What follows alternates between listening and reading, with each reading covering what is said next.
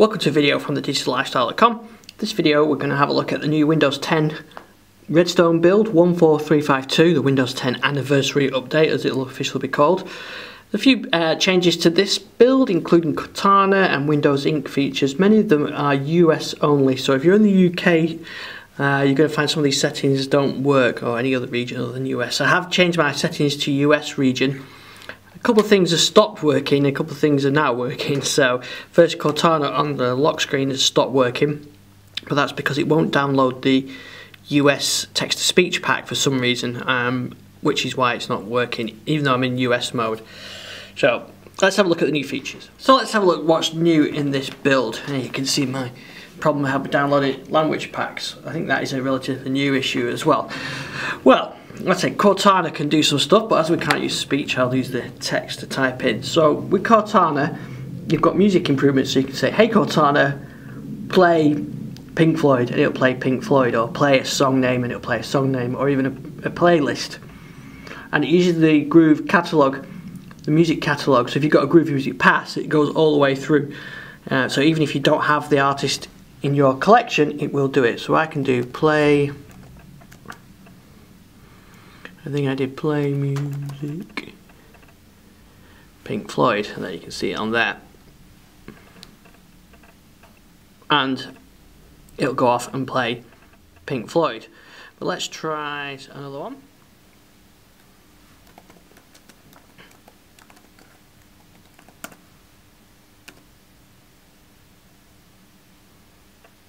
There you go. It's playing Beatles. So that's playing from my music. Um, that's playing from my music collection or from the Groove Music accounts. Oh, just one quick thing as well. Notice, quick, we had a quick notification there. These are Android notifications. I'm coming from my Android phone, and uh, they're popping their way through um, into here now because I've got Cortana enabled on my Android phone. Right, okay, so that was the, a new feature. Uh, as you can see, play artist, you can play song name, groove playlist, or you can say pause. So I should be able to take pause. Mm, maybe not. That's what you're supposed to do, but with speech recognition you probably could. But I can't get the speech packs installed at the moment. So there you go, so that's, that's new through there. The other thing you can do is set timers so you can say set a timer for 10 minutes like that. Again I tried this earlier and that not worked. Let's say set a timer. There you go so we can do it that way it could be this because the speech packs aren't working. Let's, so there you go, I set a timer. And you can do things like uh, how much time is left. You can cancel my timer. something wrong. So we're going to see lot, this message quite a lot in this video, I think. But anyway, that's the idea. Now, something that is working is ink notes. So I'm going to use my Surface Pen here, and uh, we'll get the ink notes up. Let's bring up the sticky notes. So I've added this in here. Now, so I created a note here calling in tomorrow and you notice how it's gone blue. If you're in the English version, UK English, that doesn't go blue. It's because this knows that uh, in the US, where the feature is enabled, that it's a reminder. So um,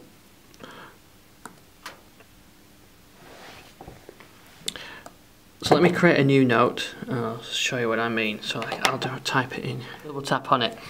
Um, so you can see it's created a reminder for 8 a.m. Uh, for 1 a.m. Probably not what I want to do, but you could do that. I wonder if that'll work now if I go back to this note. Monday. There we go.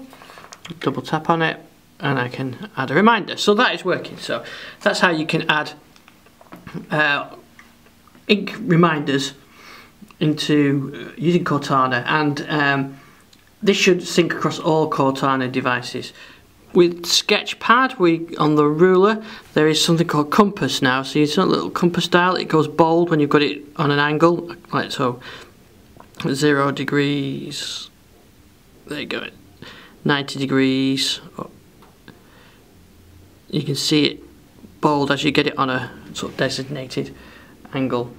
Some of the changes, um, let's go up into Sketchpad and uh, Sketchpad will now dismiss if you tap escape or the Windows key combination. So if you do Windows D, it should disappear like that. We've updated the export icon, it's now a little floppy disk, even though um, no one uses floppy disk anymore, everybody's sort of familiar with that. Um, Sketchpad and Screen Sketch are now the default inking uh, on experience on non-pen enabled devices. Um, they fixed an, an issue where Sketchpad sometimes needs to be tapped twice before it would fly out, as you saw I could launch that fine on there. And uh, they updated the sticky notes to show a small sticky note icon next to the app name when hovering over the app in task view. So another new feature is here in the feedback hub. Um, it now shows whether Microsoft have responded to um, feedback, so you can see changes made there um, so we made changes based on this feedback. So you can see if someone from Microsoft has actually responded and uh, the response and you can see the, the response there. Other changes, the File Explorer icon down here is now yellow again instead of it being white. For enterprises you can now go straight to, or you can upgrade to the enterprise version with a product key, details for that in the release notes. Um, you can there's some more antivirus options in Windows Defender for limited period scanning. So there's a whole list of bug fixes included with this. You can check those out in the release note. There's feedback hub localizations, Windows Hello doesn't crash Surface Books anymore, which is good. The restart required notification goes after a restart, uh, which is can be confusing. There's quite a lot of uh, bug uh, fixes in this one. Also on the known issues side, previously installed extension edge may not work for around 15 minutes after you first sign in. a workaround is to manually reinstall each extension from the store.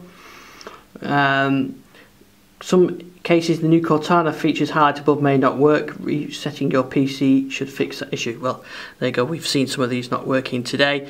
And um, Tweetium and Netflix doesn't work if you use uh, the keyboard to navigate around them.